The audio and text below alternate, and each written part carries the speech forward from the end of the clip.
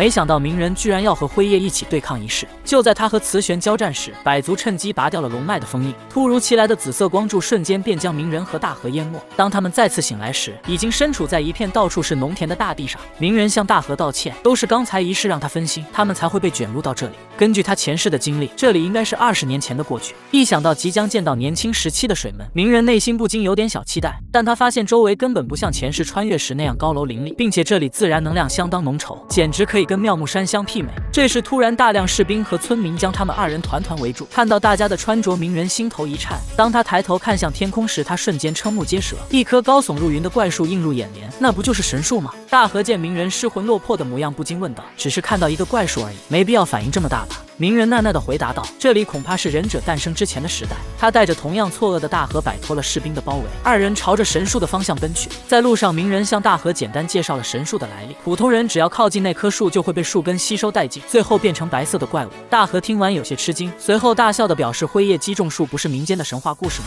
鸣人望着远处处于休眠状态的神树，肃穆的说道：“现在我们已经身处神话里了。”大河队长，大河的笑声戛然而止。鸣人指向了天上的星河，继续说道：“还记得早上偷袭我们的仪式吗？这神。”树正是他和他的同伴辉夜在忍界上种植的。大河闻言顿时呆若木鸡，辉夜的神话故事居然是真的。鸣人站在了离神树最接近的悬崖边望去，花苞里的果实即将成熟，也就是说大筒木一族很快就会到达忍界。他呼唤着封印空间中的九尾，自从回到这里后，九尾就进入了沉睡的状态。突然，天空一颗燃烧着火光的流星打破了这宁静的夜晚，最后一道光晕缓缓降落在了竹林里。鸣人知道这是大筒木辉夜降临了，他心中微微触动。正当他准备上前探个究竟时，大河却拉住了他。大河严肃地表示，他们还是少参与为妙，以防止影响了历史。鸣人淡淡的回应道：“来不及了，大河队长，当我们进入这里的那一刻，历史就已经发生改变了。”辉夜走到了神树旁，用白眼查看着神树的成长情况，果实马上就要成熟了。突然，他发现了两位不速之客，鸣人他们虽然事先躲起来了，但始终还是逃不过辉夜的白眼。